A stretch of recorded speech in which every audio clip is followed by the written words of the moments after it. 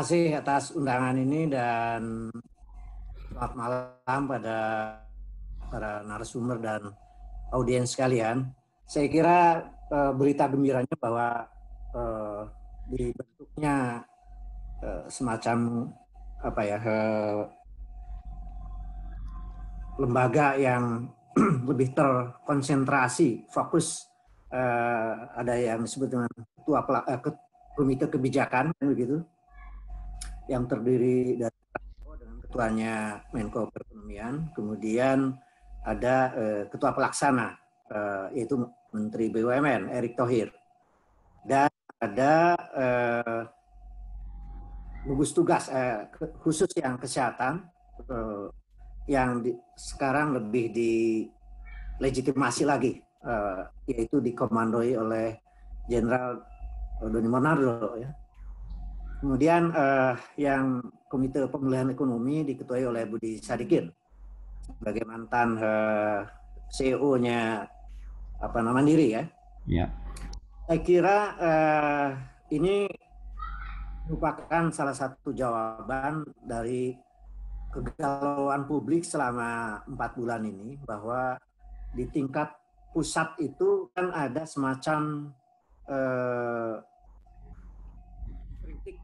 bahwa kalau selama ini penanganan uh, COVID khususnya itu banyak dilakukan oleh Pemda. Ya. Kemudian pusat sering uh, dengan Pemda bah bahkan ada, ada semacam kontradiksi. Apakah kasus uh, DKI dengan Kementerian Perhubungan dan lain sebagainya. Kontradiksi, kontradiksi yang bersifat horizontal antara pusat dan daerah itu terjadi selama ini, ada terjadi. Kemudian ada kontradiksi yang bersifat eh, eh, tadi vertikal, kemudian ada yang bersifat eh, horizontal juga antar kementerian, misalnya antara eh, Menteri Ke Kementerian Keuangan dengan Kementerian Kesehatan eh, dan lain-lain ya. Kementerian Perhubungan dengan Kementerian apa namanya Keuangan juga gitu. Eh, kemudian dengan Bank Indonesia, eh, dengan Kementerian Keuangan. Gitu. Nah sekarang saya kira dengan adanya eh, lembaga yang terkonsentrasi baik itu Komite Kebijakan dan eh, Pelaksana, juga jangan lupa sebelumnya sudah ada semacam konsensus antara Bank Indonesia dengan Menteri Keuangan yang apa menyetujui kedua belah pihak antara Bank Indonesia sebagai otoritas moneter dan uh, Kementerian Keuangan sebagai otoritas fiskal uh, untuk bagaimana uh, kontroversi soal likuiditas ya untuk stimulus perekonomian maupun untuk penanganan COVID itu sudah selesai sekarang. Jadi berita gembiranya bahwa lembaga ini menjawab tentang kegalauan publik bahwa ada kontradiksi baik horizontal maupun vertikal.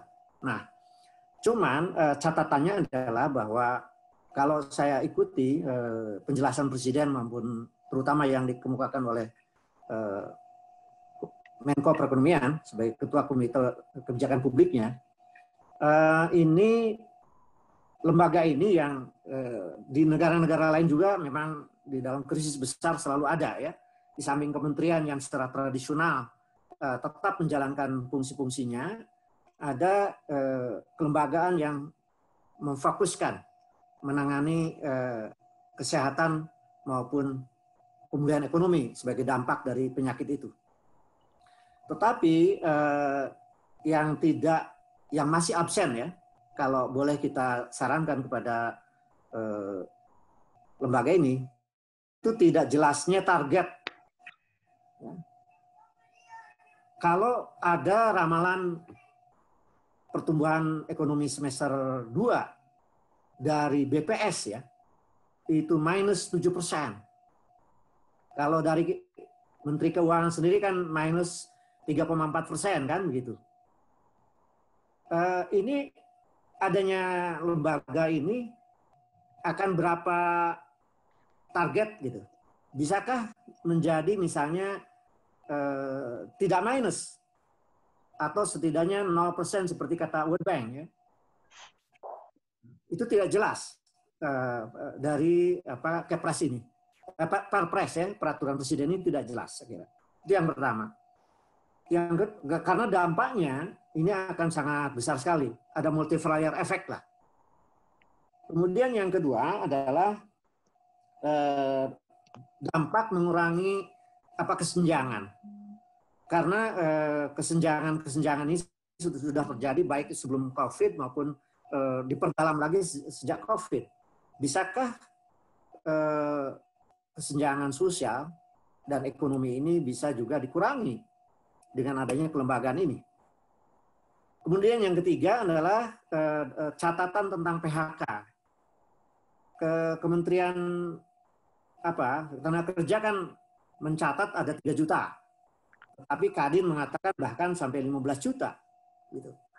Karena saya punya catatan sendiri eh, bahwa misalnya eh, dari seluruh eh, apa namanya karya pekerja di tingkat formal itu ada 55 juta dan menurut sebuah lembaga yang meneliti bahwa ada 50% dari 55 juta itu adalah outsourcing bahwa 80% dari outsourcing ini uh, umumnya di PHK ya, di PHK. Jadi sebenarnya saya kira agak mendekati kenyataan kalau Kadin mengatakan itu 15 juta. Sebenarnya kalau ada targetnya nanti kira-kira akan mendekati berapa eh, PHK ini bisa dikurangi. Bisakah kembali dibangkitkan eh, apa namanya UMKM maupun eh, apa namanya perusahaan-perusahaan menengah besar ini kalau sudah terjadi misalnya apa eh, daya beli naik kembali, kemudian produksi meningkat kembali, itu PHK itu bisa ditekan sampai 50 eh, persennya dari katakanlah apakah 15 juta atau dari 3 juta dari kemudian tenaga kerja. Kemudian eh, yang terakhir catatan saya adalah mengenai waktu. Kan memang rumor tentang vaksin ini yang katanya ada dari China, sementara di China sendiri belum juga uh, firm ya bahwa itu adalah sebuah vaksin yang bisa merupakan obat massal ya. Uh, obat massal.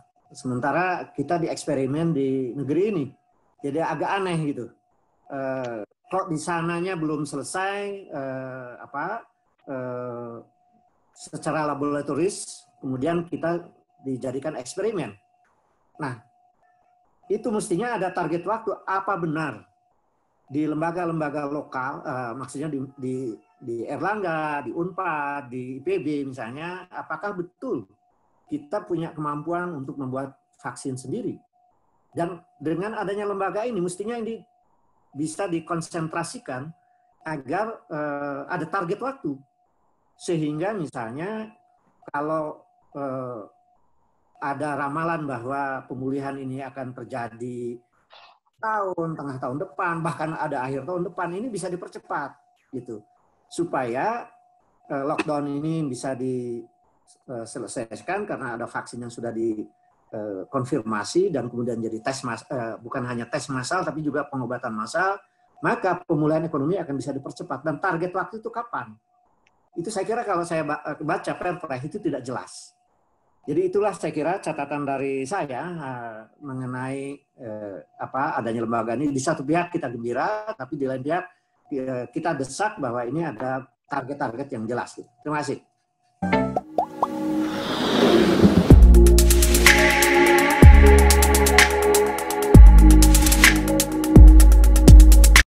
Oke. Okay. Ya, oke. Okay.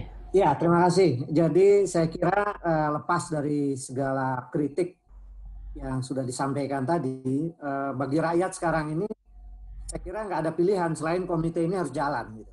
Hmm. Tetapi yang disebut terobosan besar itu belum belum kelihatan memang. Hmm. Uh, kalau saya sedikit aja, ma, ma, ada tiga terobosan besar ya di antara krisis besar dunia.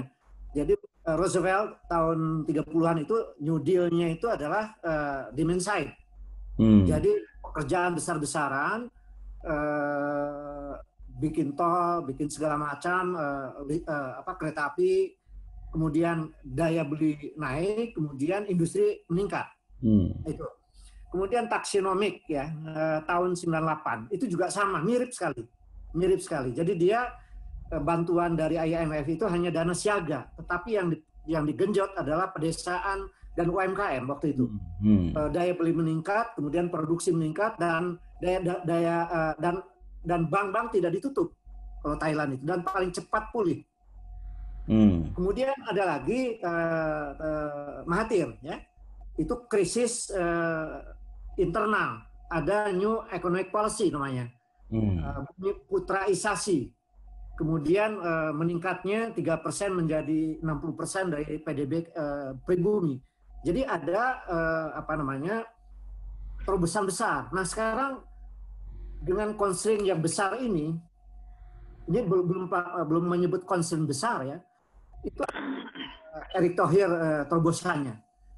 Hemat saya itu sama krisis besar karena penyakit dan kemudian menimbulkan krisis besar ekonomi apa resesi harusnya side menurut saya. Kesehatan itu adalah ekonomi.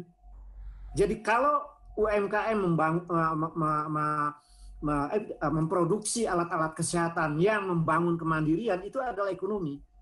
Itu di side. Lalu perlindungan sosial dengan data-data kemarin yang katanya efektif menurut Sri Mulyani yang 45 persen sekarang harus mendekati 100 persen. Itu juga ekonomi gitu. Mm -hmm. Ini yang berbasis kepada sumber-sumber baru gitu itu yang dimaksud tadi jadi ada sumber-sumber baru belum lagi sekarang ada inovasi-inovasi yang berbasis digital apa ini uh, stimulus yang harus dilakukan agar inovasi ekonomi digital ini bangkit gitu uh, dan dan semua itu bermuara kepada bangkitnya daya beli ini saya kira kunci-kunci yang harus di uh, apa dibuka oleh oleh oleh Erick Thohir dengan New Deal-nya Indonesia gitu. Apa? Nah, tadi saya kira Mas Tris, kemudian yang lain sudah memberi bahan, tinggal sekarang eh, apa sekarang? Eh, apa tadi lima, Pak Baudin mengatakan 50% awal itu yang paling menentukan nanti akan sukses atau tidak.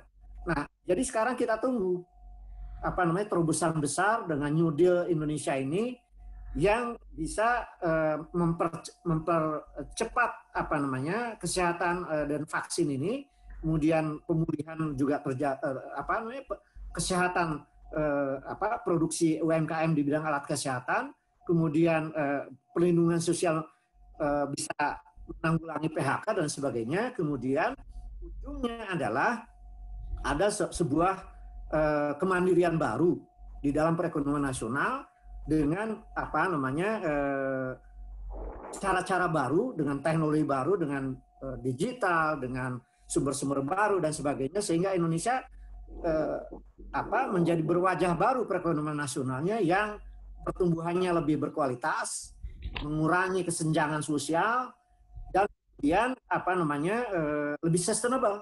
Saya kira kuncinya itu. Terima kasih. Terima kasih sudah menyaksikan video ini. Please leave a like it because it will really help me out. If you don't like it, you can leave a comment as well giving some feedback. If you have any other comment or pertanyaan, please leave in the comment as well. And I will do my best to answer them. I usually respond to the comment dalam 24 sampai 48 jam tergantung pada your question and depending on how easy I am. Kami punya banyak lagi konten of narasi channel tentang tema kebijakan publik lainnya dengan narasumber kredibel dan terpercaya. Dan kami juga sajikan update kebijakan publik. So, if you are interested in that type of the stuff, check it out. And, dan jika kamu suka dengan apa yang kamu tonton, jangan lupa subscribe. Kami sangat appreciate. Kamu juga dapat lihat channel lain di sosial media seperti Facebook dan Twitter sebagaimana kamu lihat sekarang di screen. And with that, terima kasih banyak semua. Ini adalah Narasi Institute dan saya Ahmad Nur Hidayat I will back soon. Tetap update dengan konten lainnya. Salam.